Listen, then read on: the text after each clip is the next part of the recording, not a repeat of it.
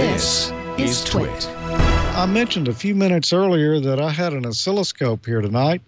We're going to be using it because we're going to go back and talk a little about the power supply that uh, Bob showed us earlier tonight and I discussed last week. I want to look at filtering. So we've, we've actually got some demos here uh, rather than just me pointing at photos. First thing we're going to do is look over here. Uh, this is what we've got the scope. I've got a little circuit board here that's got the parts that we're talking about. This was a simplified drawing that I did last week.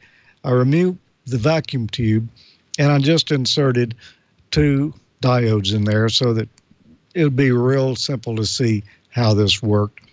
And that's what I've got here on the uh, experimenters board. First thing we're going to do, though, is we're going to take a look at just a 9 volt battery and see what that looks like on the scope. Well, it doesn't really look like anything, does it? Just uh, a line here at the top that indicates, uh, well, it's a little over 9 volts. Can't see it from where I'm sitting here, but just a little over 9 volts typically. And there's no noise, no ripple or anything. It's just a straight line there. You know, this is zero volts here. As you go up, you're going positive. If you go down, you're going negative. So that's just a good, clean, pure DC signal right there. Okay, well, let's look over at the power supply now.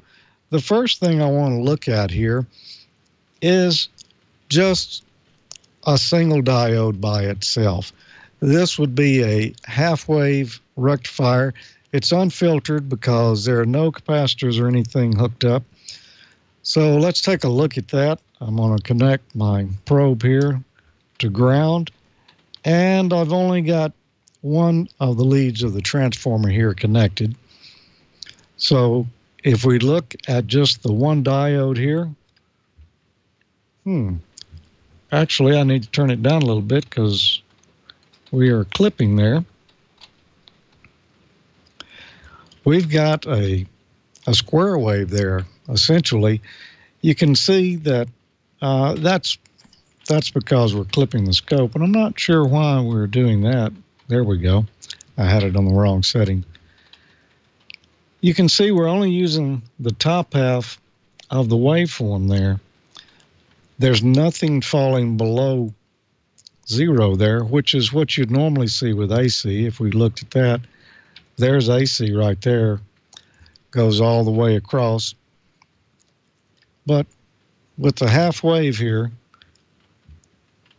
we're only using the top half of the waveform. The bottom half is just clipped off, so it's wasted. And that's not really um, DC at all. I mean, if you look at it, it's just half of a sine wave. Yeah, you can call it DC, but uh, really, there's a lot of ripple there. If we look at that, uh, this scope has a frequency counter on there. It's showing that it's 60 cycles. Okay, the next thing we're going to look at here is two diodes connected together that make the full wave rectifier. And this is, you know, what we're using in the circuit we've been talking about.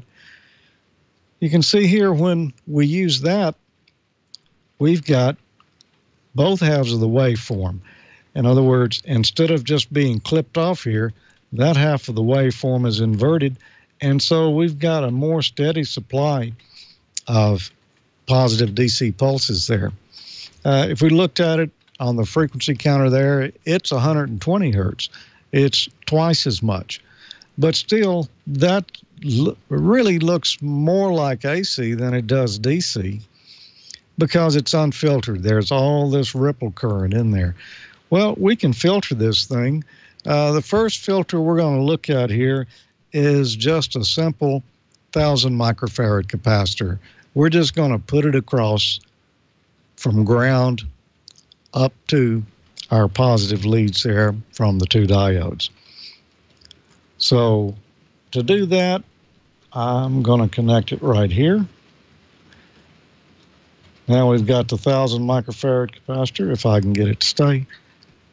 And we look across here, and now we do have a DC, but it's a little noisy. You know, we see some ripple still happening there, but it's much closer to DC than what we had previously. Well, it is DC. It just has ripple riding on it. You notice also on the light bulb I've got connected there, that light bulb gets brighter when we've got it filtered and we smoothed out that waveform to pretty much just straight DC. And this is a thousand microfarad capacitor I've got connected across it here. So you might say, well, you know, why don't we just use a thousand microfarad capacitor? Why do we need to use the three 20 microfarad capacitors and the two 1k ohm resistors there to make up the dual pi network? Well, there's a couple of reasons.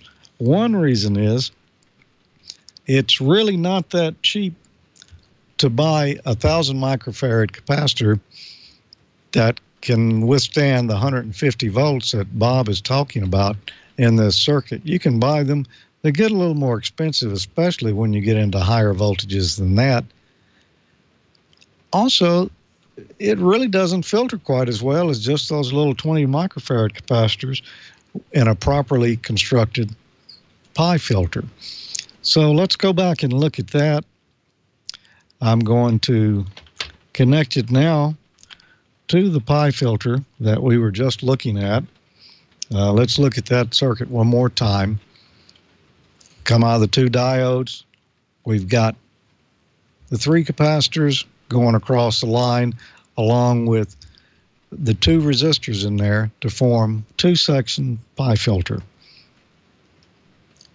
Okay, if we look at the junction with just one section of that pi filter, what we're going to see is this right here. That looks like DC. That, as a matter of fact, that is filtered better than. Uh, here we go.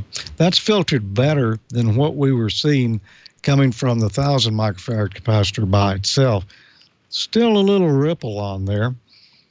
And you notice that the voltage did drop a little bit. That's because we've got those 1000 ohm resistors in series there. Now, this is just with one section of the pi filter.